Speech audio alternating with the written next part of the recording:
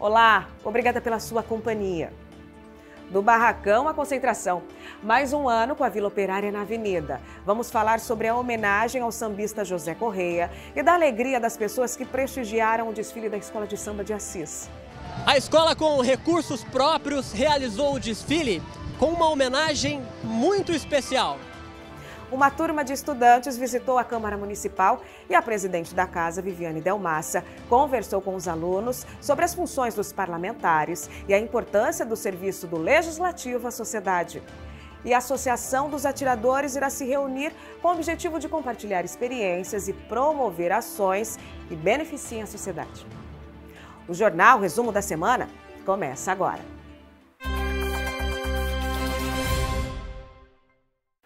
E teve carnaval sim. O Matheus Dorassi foi até o barracão da Vila Operária, momentos antes do desfile que aconteceu no sábado. Ele conversou com pessoas especiais e falou sobre a homenagem do samba enredo desse ano. E a gente vai conferir essa reportagem agora. Se engana quem pensa que a magia do carnaval começa na avenida. Assim como todos os anos, a Unidos da Vila Operária inicia a folia mais cedo na comunidade. O barracão do samba vibra com a preparação da festa. Dá muito trabalho aí montar tudo isso? Ah, um pouco. É muito tempo de, de costura. Aprendi a costurar aqui com as minhas roupas. Este ano a escola faz homenagem ao músico José Correia, que com o seu cavaquinho puxava o samba mais tradicional da vila. Zé, como era chamado, faleceu em março de 2022 e além de puxador do samba, também já foi presidente da escola. E este ano a homenagem é toda dele. Extremamente emocionada por poder fazer essa homenagem para o Zé Correia que todo mundo sabe do quanto ele era um rapaz muito importante para a Escola de Samba Unidos da Vila Operária. Então hoje é isso, é o dia que a gente vai para o abraço, que a gente vai para brincar o carnaval, para se afirmar de como é importante a gente ter uma escola de samba como essa aqui na cidade de Assis. Na letra do samba, nas fantasias e até num carro alegórico, essa homenagem ao José Correia fez com que essa turma se inspirasse em cada detalhe para mostrar que o legado do músico continua vivo no coração de todos. Para Eliane, esposa do homenageado, a saudade não dá para descrever, mas a presença do marido está em todos os cantos da festa. Ele deve estar lá em cima, olhando por nós, desejando que tudo esteja correndo bem. E aqui no Barracão, na VO, é o lugar que ele sempre gostava de estar. Então, ele gostaria de estar me vendo aqui, é, com o pessoal, fazendo essa homenagem e ele deve estar feliz com isso sim. E pensa que é fácil preparar tudo isso? São noites de ensaios, dias de muito trabalho para que tudo fique perfeito para o desfile. A partir do momento em que o samba ficou pronto, né, nós começamos a trabalhar então em cima da, da produção de fantasias e alegorias. E aí vai ficando fácil, né? A ideia começa, vai fluindo e aí a escola já fica basicamente pronta no papel. E toda essa festa é organizada com recursos da própria escola e também de apoiadores que incentivam e não deixam a tradição cair em esquecimento. A gente tem os nossos apoiadores financeiros, né? E é claro, já deixo aqui um grande abraço e agradecimento a essas pessoas, que é isso, são as pessoas mesmo da comunidade e todo mundo ajuda. É vender rifa, é fazendo as nossas promoções das noites tomando a nossa cerveja aqui já nos ajuda para fazer o carnaval. E para quem já foi embora, fica eternizado a alegria do carnaval e as recordações que estão gravadas na memória de todos os foliões. Onde estiver, sua estrela vai brilhar, meu amigo Zé Correia.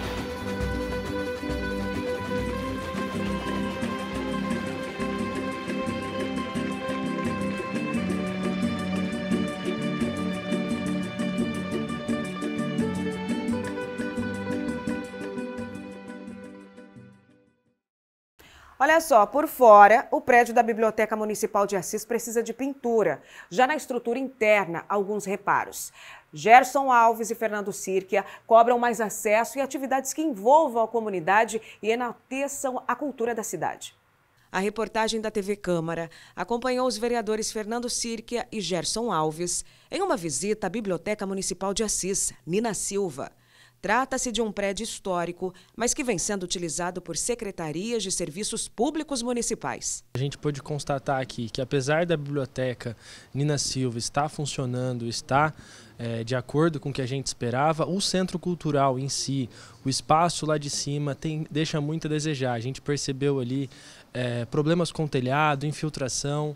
A gente não conseguiu acessar diversas salas por estarem fechadas e nem a Secretaria de Cultura ter acesso e também percebemos que existem acervos ali que foram tirados de algumas salas para dar local para a Secretaria de Desenvolvimento, que acabou não vindo, e assim esses acervos estão ali praticamente jogados em uma sala ao canto. Em uma sala que restringe o acesso da população, temos o acervo de Dona Pimpa, personalidade que foi professora e autora do hino da cidade de Assis, e Josrei Leão, um artista considerado ícone do balé mundial. O curador explica o motivo da sala não estar liberada. Do que contém um acervo, que são três salas, elas são utilizadas para higienização e acondicionamento do acervo. As outras salas elas é, já foram pensadas para serem utilizadas, disponibilizadas para artistas locais, como é a questão aqui da, da, do anfiteatro, que foi disponibilizada para o coletivo de artesãos é, realizarem seus trabalhos e posteriormente fazer exposições na parte externa do prédio. Na área externa e interna do prédio, é possível perceber a necessidade de reformas. Estivemos hoje aqui com o senhor Luiz Ventania, que deu uma aula para a gente de história, né? história de Assis, de tudo aquilo que acontece. E é, esse prédio faz, é, faz parte da, da, da, essência, né? do nascimento do nosso município. Né? Então é muito importante a administração pública ter uns olhos voltados para esse prédio e, na medida do possível, destinar o recurso para que seja devidamente restaurado. Agora nós estaremos fazendo os requerimentos de informação, solicitando detalhadamente tudo isso da Secretaria de Cultura, para que a gente possa, assim, averiguar e ver quais são as possibilidades de melhoria. Mas o fato concreto é que não dá para ficar como está, isso tem que ser aberto ao público, porque é parte da história cisense que está aqui. E choveu mais de 70 milímetros em menos de uma hora em Assis. A cidade registrou vários pontos de alagamento. Muita gente ficou ilhada até a água baixar. A região da prefeitura foi uma das áreas mais afetadas pelo alagamento, ficando impossível de passar. Vamos falar então alguns pontos que, quando a chuva apertar, o motorista tem que ficar mais esperto. Olha só: Avenida Otto Ribeiro, Avenida Benedito Pires e também a Rua André Perini. Apesar dos transtornos, não houve registro de feridos.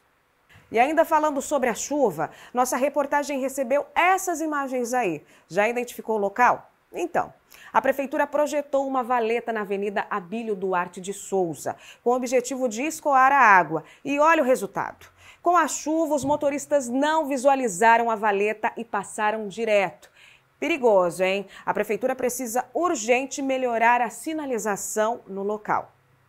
Olha só, faltam dois meses para a estreia do Vossen Assisense no Campeonato Paulista da Segunda Divisão. E a gente está acompanhando tudo de perto nessa preparação, tanto lá no campo, no CT Padre Bellini, quanto também na academia. E a estreia desse time é no dia 23 de abril contra a Penapolense aqui no Tonicão mesmo, jogando em casa numa estreia. E a cobrança da torcida é enorme, né? Então o time está se esforçando muito tanto no gramado quanto na academia, com treinos todos os dias da semana para fazer bonito aí na estreia. Vamos conferir? Disposição não falta.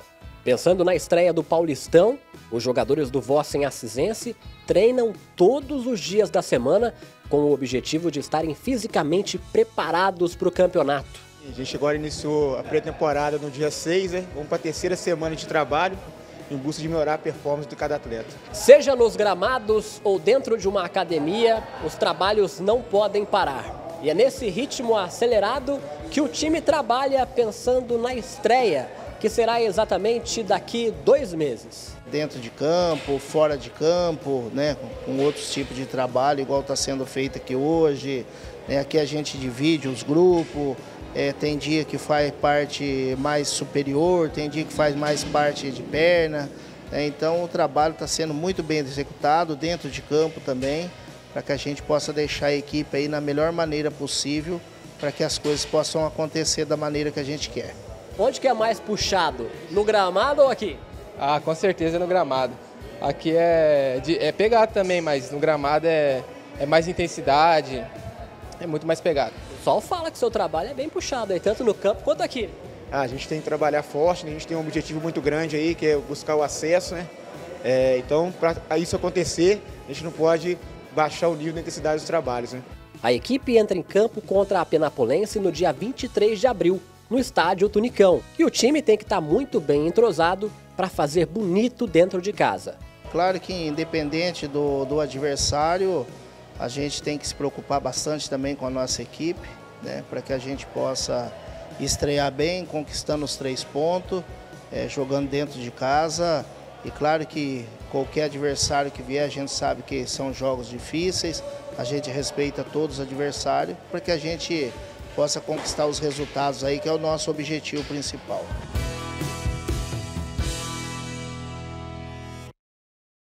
Matheus, muito obrigada pelas informações e bom trabalho para você. Obrigado para você também. Semana que vem a gente traz mais informações do Voz em Assis. Tá certo, então. Vamos mudar de assunto? Porque o Tiro de Guerra de Assis irá realizar uma reunião da Associação dos Atiradores. O objetivo é compartilhar metas, projetos e apresentar a diretoria do grupo para novos membros. Na próxima terça-feira, dia 28 de fevereiro, o Tiro de Guerra de Assis realiza uma reunião da Associação dos atiradores. Quem vai explicar para a gente o objetivo desse trabalho é o subtenente aqui do TG, o Rodney.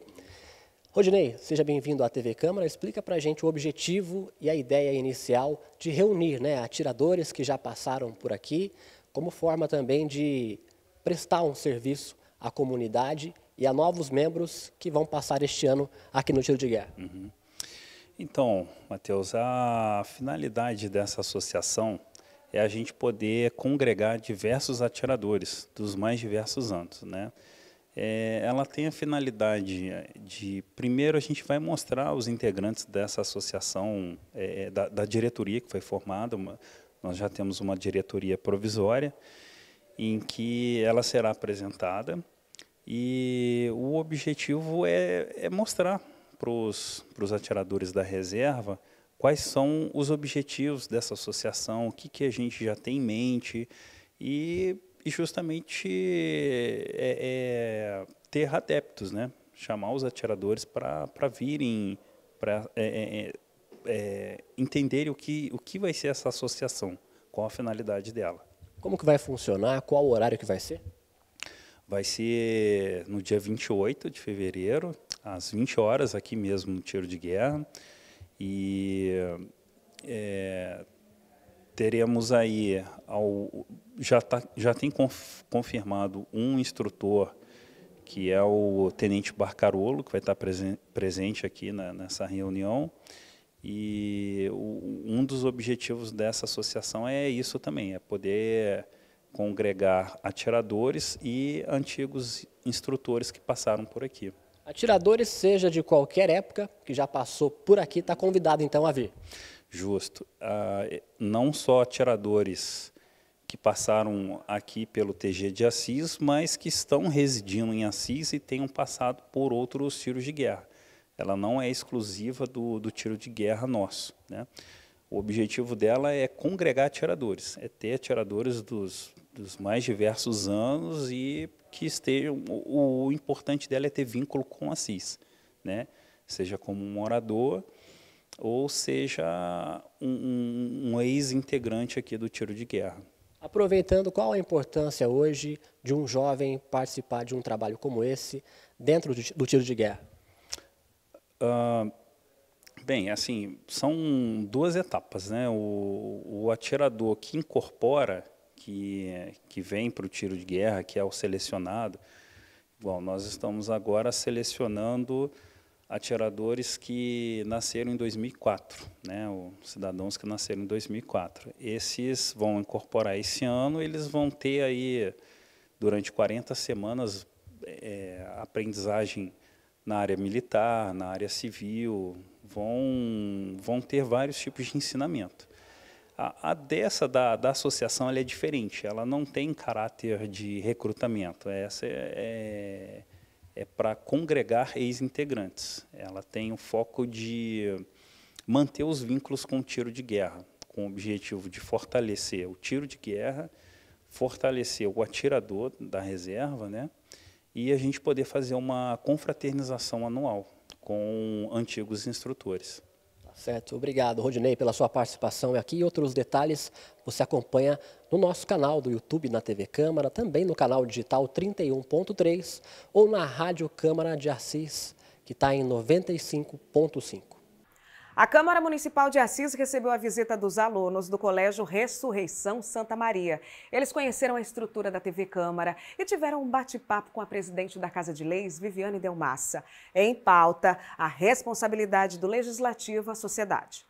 A Júlia é aluna do segundo ano do ensino médio e, junto com seus colegas de sala, pôde conhecer na prática um pouco do poder legislativo. É muito prazeroso ter esse momento porque a gente coloca em prática, vê em prática o que acontece na nossa cidade, na, na política em si. É a primeira vez que esse grupo de alunos do Colégio Ressurreição Santa Maria visita a Câmara de Assis. A experiência faz parte das novas disciplinas inseridas no novo ensino médio, no qual os jovens podem escolher dentro da grade curricular matérias que eles mais se identificam para um estudo mais aprofundado. Os alunos que elencaram essa disciplina estão estudando vários temas de atualidade que eles mesmos elencaram. E dentre esses temas, onde entra a razão da visita nossa aqui hoje, é o maior conhecimento sobre as estruturas do Estado brasileiro.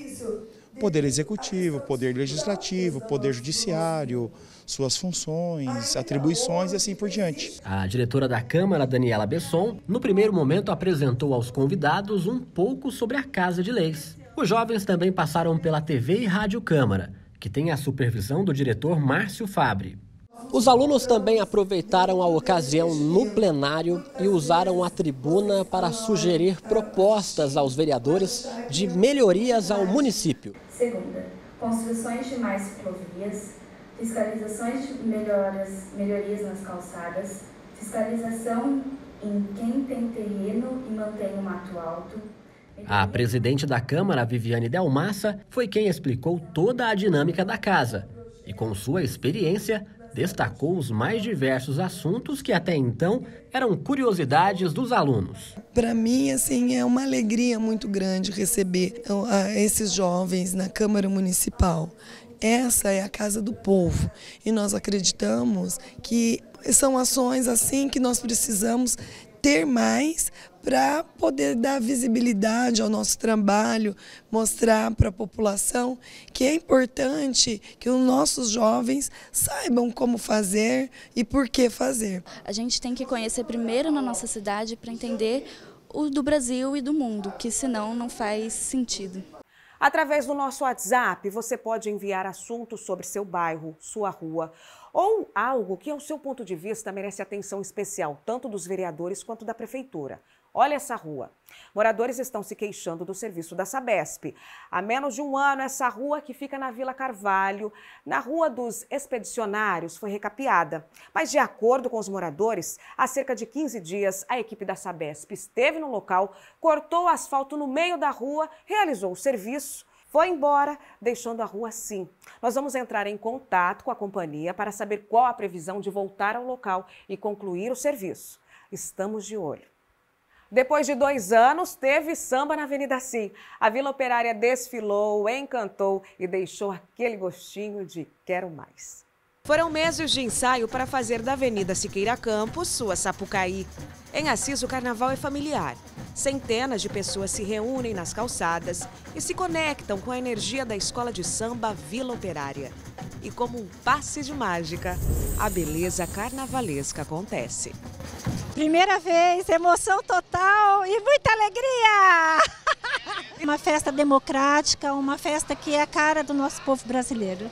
Estamos aqui no pique total para comemorar esse carnaval depois de dois anos né, de pandemia. A gente em casa sem pular carnaval, agora estamos na maior alegria. No dia do desfile teve tempo chuvoso, mas nada que um guarda-chuva não resolvesse. Afinal, se o carnaval é sinônimo de alegria, nesse momento Todo mundo quer é ser feliz. Ah, tem que vir, né? Tem que prestigiar, né? E balançar. Ah, tô aqui, ó.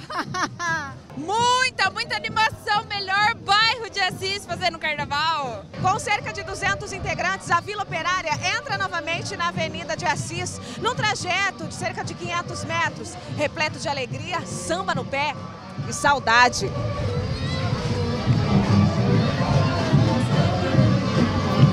Tenho ainda, né, apesar de já estar numa outra esfera, pelo, pelo Zé Correia, foi sempre nosso amigo. Então a gente acha muito importante essa, essa homenagem eh, que do fundo do coração faz, ele fez muito bem para essa vila.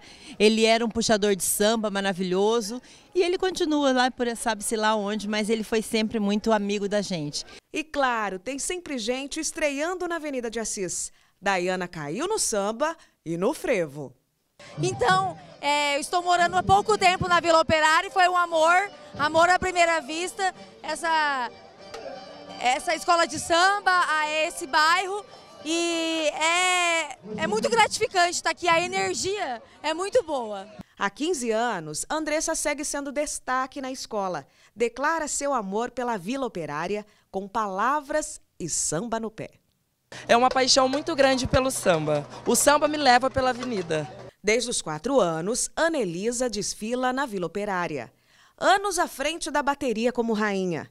Em 2023, cravou sua despedida da escola. É, é, na verdade, a história da minha família. É a lembrança que eu vou ter para sempre do meu pai.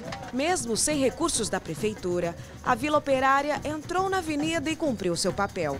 Trouxe alegria para a comunidade assisense, que merece ser feliz. O sentimento é de missão cumprida de quem esteve lá, curtiu, aplaudiu e se emocionou. Daqui um ano, nos encontramos novamente. O resumo da semana chegou ao fim, mas você confere as nossas notícias atualizadas no site da Câmara, em nossas páginas do Facebook, na Rádio 95.5 e, claro, na TV aberta. Informação com responsabilidade para você sempre. Fique bem, nos vemos em breve. Até mais. Tchau, tchau.